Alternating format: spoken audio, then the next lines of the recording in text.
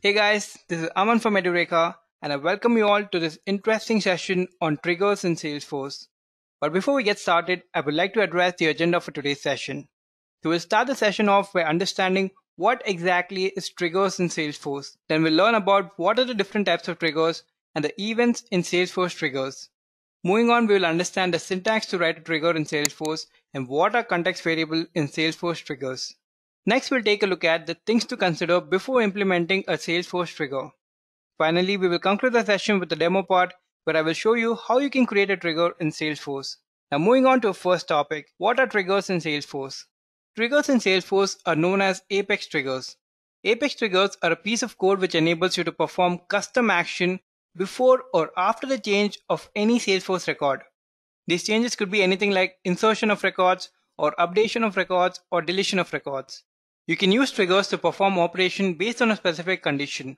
So only when the condition occurs, the triggers are executed or fired.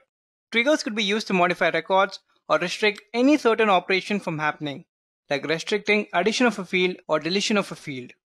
Now you can use triggers to do anything that you used to do in Apex, including executing SOQL and DML statements or calling custom Apex methods.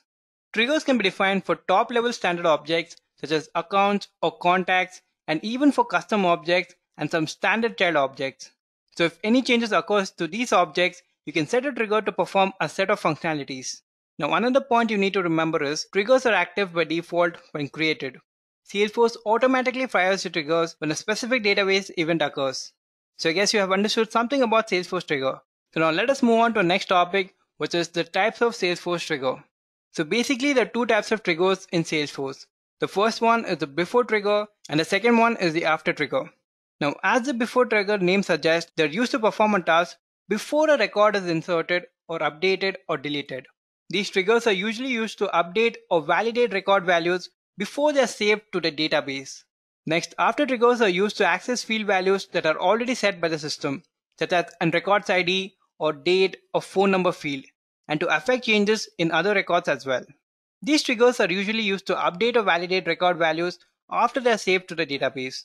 Also, after triggers are read-only. You cannot make any changes to them. So these were the two types of triggers in Salesforce. So now let us move on to the next topic and understand what are the trigger events in Salesforce.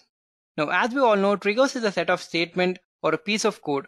So it can be executed on any of the following events. Here is the list of trigger events, which means now a trigger can be fired when the following event occurs. So before insertion means the trigger will be fired before the records inserted to the database. For example, let us say inserting a new lead.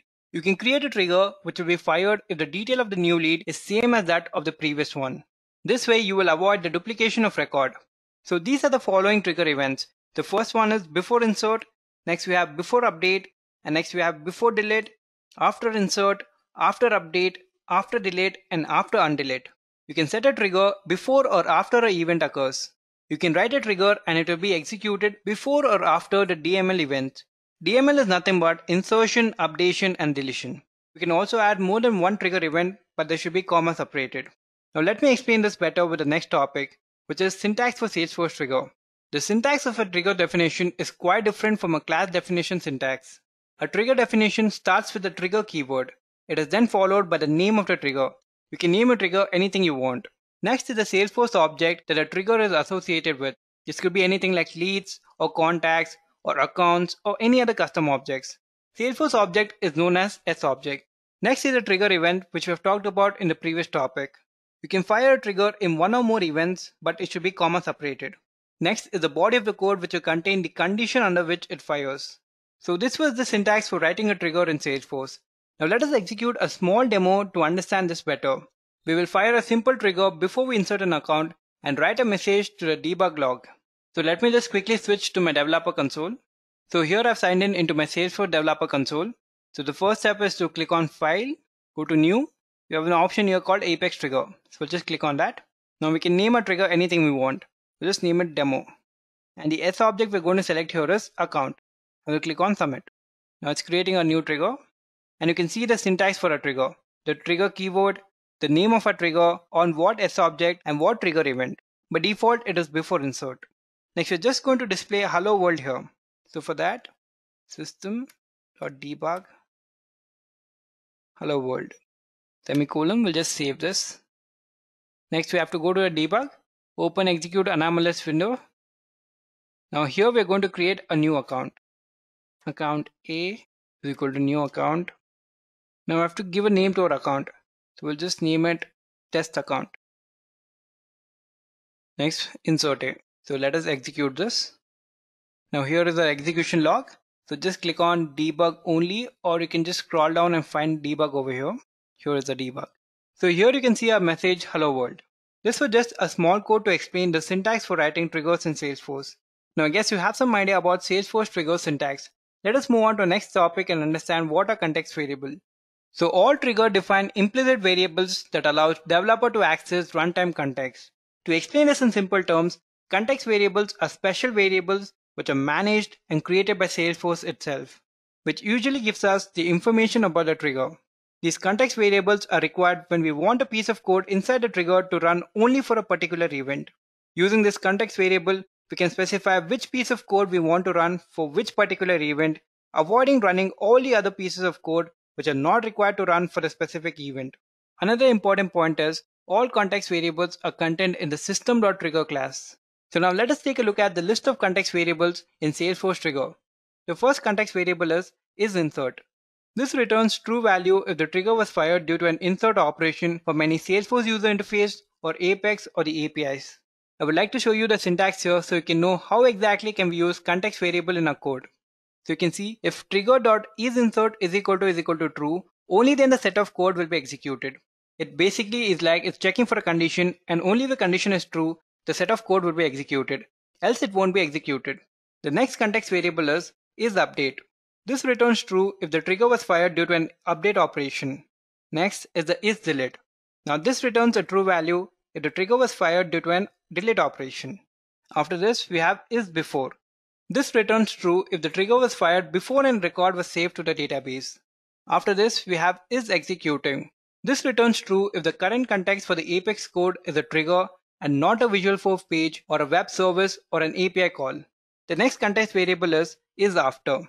This returns true if the trigger was fired after all the records were saved to the database. Next is is undelete. This returns true if the trigger was fired after a record was recovered from the recycle bin. Next, we have the new context variable. Now this returns a list of new version of the Salesforce object records.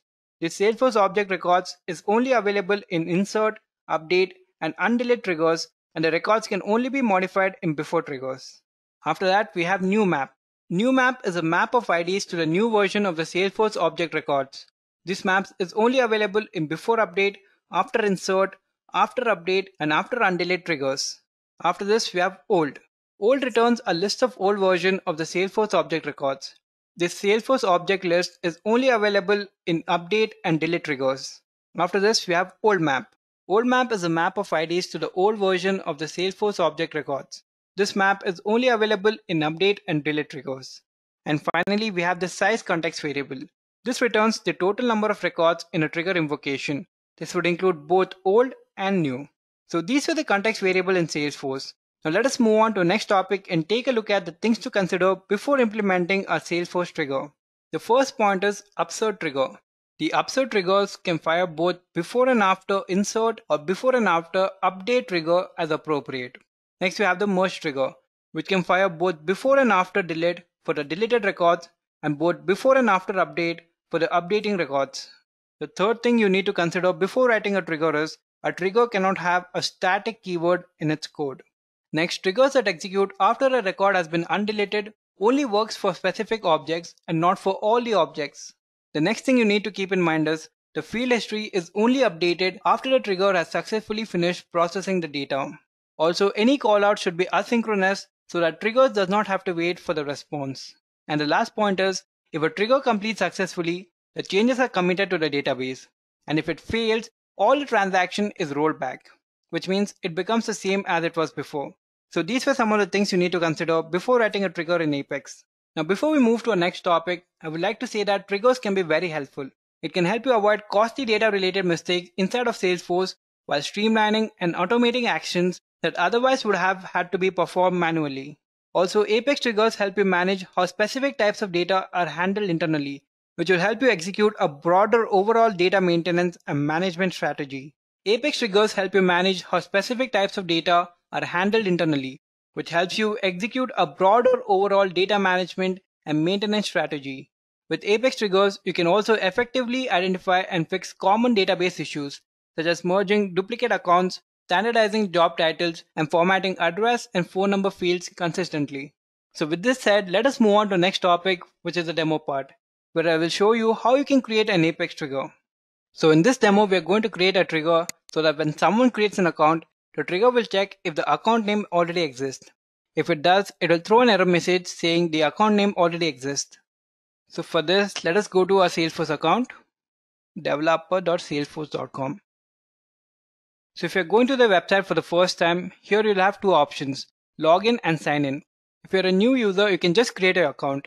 It'll just take maybe one or two minutes to create an account. After you have logged in, you can just go to your name over here and go to my developer account. Select your username. So if you're new to Salesforce, this is what a Salesforce console would look like. Now to go to a developer console, just click on the setting over here and select developer console. Now go to file, new, apex trigger. We can name our trigger anything we want. We'll just name it account duplication. And on what Salesforce object we're going to do this? It's on account. And we'll click on submit. So here we have the trigger keyword, the name of a trigger, and an account object. And here we have the trigger event. Next for a body of our code, we're going to create a for loop first. For account object, we're going to create an instance for account trigger.new. Next list account. Next creating another instance list account my new is equal to now here we need to select an ID which will compare the new account name with the existing account name. So for that, let's go to select ID, comma, name from account where name is equal to account name. This statement will get us the account name. Now in order to compare and throw an error message, we need to check for a condition. For that, if my new dot size. Here we're using the size context variable, which will return the total number of records in a trigger invocation. So if it is greater than zero, it will throw us an error message. Account dot name dot add error account with same name already existing we're just going to save this. So it's saved. Now let us go to our account section. Now here you can see I have five account records and these are my account names. So now let me try creating a new account with the same name. So I'll click on new and the account name I'll give it as test account. So now none of the other fields are mandatory. So I'll just click on save. So here you can see we are getting an error message saying account with the same name already existing. And you can see how simple it is to create a trigger in Salesforce. And with this, we have come to the end of the session. I hope it was helpful. Do leave your valuable comments in the comment section below. Happy learning.